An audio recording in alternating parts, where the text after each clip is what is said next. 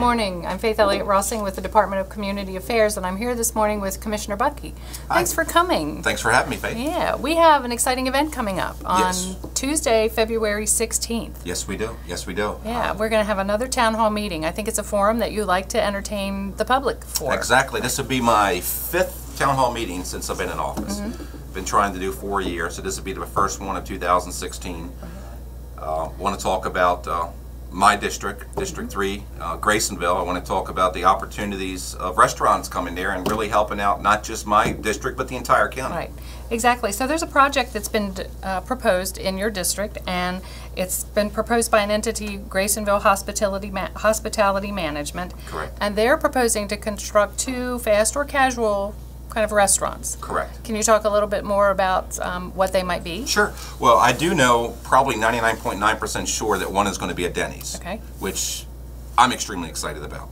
And the buzz in the county seems to be pretty excited about that as well. The second one, I'm being told it could be a Chipotle's, it could be a um, uh, what a smoke house, is it smoke grill? Smokehouse Grill. Smokehouse grill pizza or oven pizza, smoke oven pizza, Okay. one of them type of facilities. We really don't have that one I don't have identified that one. specifically yet, but we're pretty comfortable it's a Denny's? We're very comfortable. It's a Denny's going in. Gotcha. Okay, so this town hall meeting is going to be on Tuesday, February 16th. Correct. It's going to be at the Grasonville Community Center, right? And the address for the Grasonville Community Center is up here on the slide behind us. It's 5 5601 Main Street in Grasonville.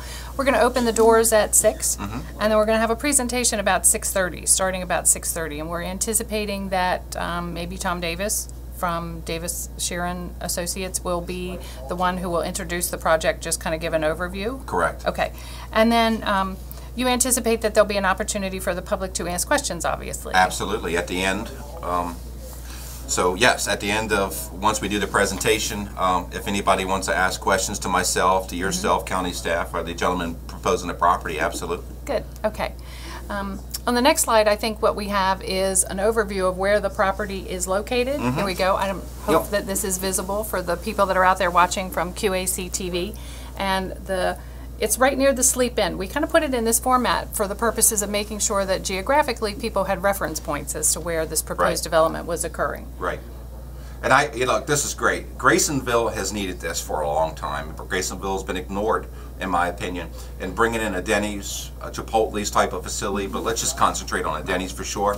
I think it's going to be tremendous for the community and not just, again, the county. And this is a perfect location. It's zoned for it now, Mm-hmm. so there really shouldn't be many issues, um, other than uh, possibly running sewer, I guess.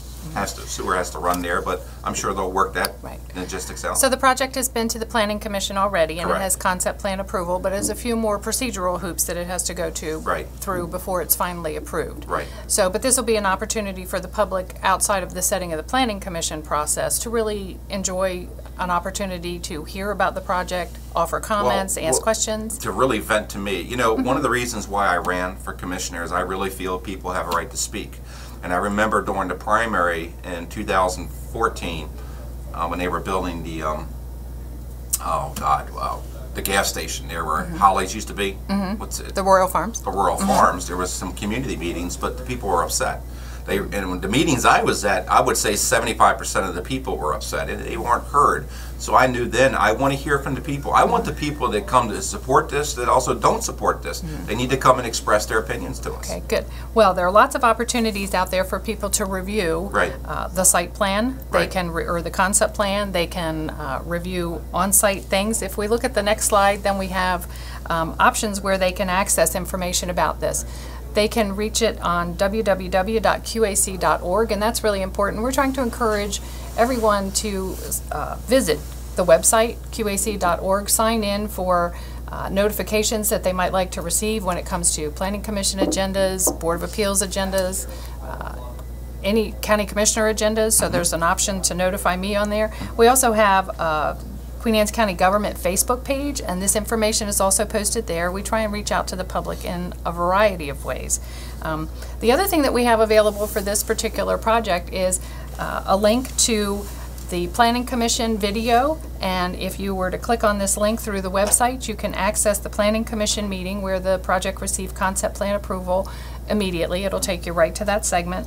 And then there's also a 3D video, which is kind of interesting. That's something new that we've done, and I Right. know you were at the Planning Commission meeting and you saw that. What'd you think of that? I thought it was excellent, and I think that's how all presentations should be. Mm-hmm. When, when, when we have a project coming to the county, that's how it should be done. Good. I love that. Good. And another opportunity, of course, is to go directly to the Queen Anne's County Department of Planning and Zoning, and you can visit them at 160 Coursevall Drive in Centreville, and that's important because then they would have hard copies of the documents available prior to the meeting. So we look forward to having everybody come and visit us. Absolutely, I'm looking forward to it. All right. You know, I, I want to say a couple things too, if I can. Sure. So people at the end of this meeting um, will have an opportunity to ask me a question countywide. It doesn't Okay. Mm-hmm. have to pertain to this. It can be any specific issue that's on their mind. We're going to set up a bowl, a, a jar, a bucket, whatever it's going to be. When you first come in, there'll be a piece of paper. You'll put your name and your question.